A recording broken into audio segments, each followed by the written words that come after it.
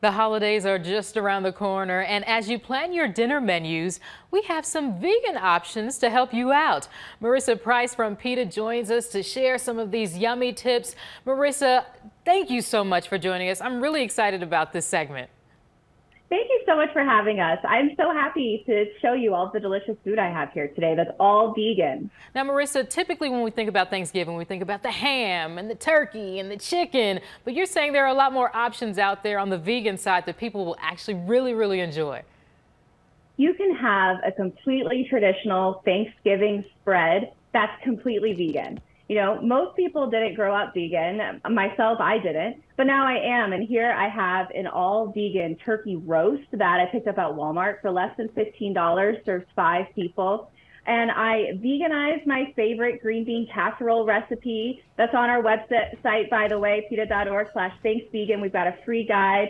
And I even was going to make a vegan pumpkin pie because it's so easy, but I actually just found one at my local grocery store and bought a pre-made one instead.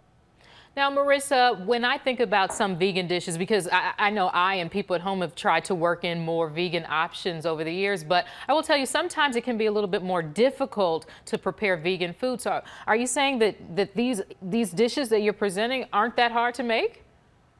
More people than ever are turning towards vegan dishes and incorporating these vegan and plant-based foods in their diet. A recent study actually showed that about half of Americans want to incorporate more of these foods into their diet. So because of that, we're seeing so many more options in our local grocery stores. Like I mentioned, Walmart earlier, Target. I even picked up some uh, vegan butter from Lidl the other day. So pretty much any store now carries these options, and it can be super, super easy and convenient, and tastes just as delicious. And then you have to remember, this comes without the cruelties. That's the amazing thing. We get to enjoy these really delicious, healthy foods, healthier than eating animals and no animals had to die for these. Yep, so we can eat guilt-free. I love it. Um, talk about PETA's Thanks Vegan campaign. What is this all about?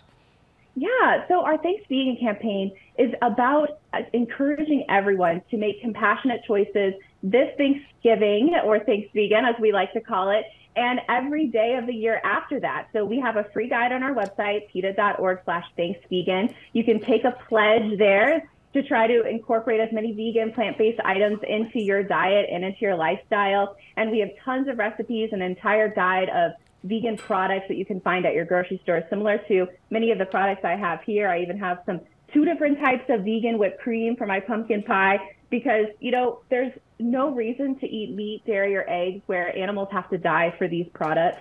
And instead, we can have this delicious food like that we grew up enjoying. Marissa, I've definitely been cutting out the dairy, working on removing more of the meat, and I'm sure people at home will appreciate these extra options. Marissa, thank you so much. We really appreciate it, and I'm hungry already. Wonderful. Thank you so much.